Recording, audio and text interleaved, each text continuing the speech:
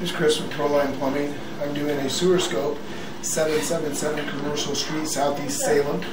Um, I've cabled this line 100 feet. Now I'm putting my uh, camera down there it's a still stoppage. I'm in unit 401. Yeah.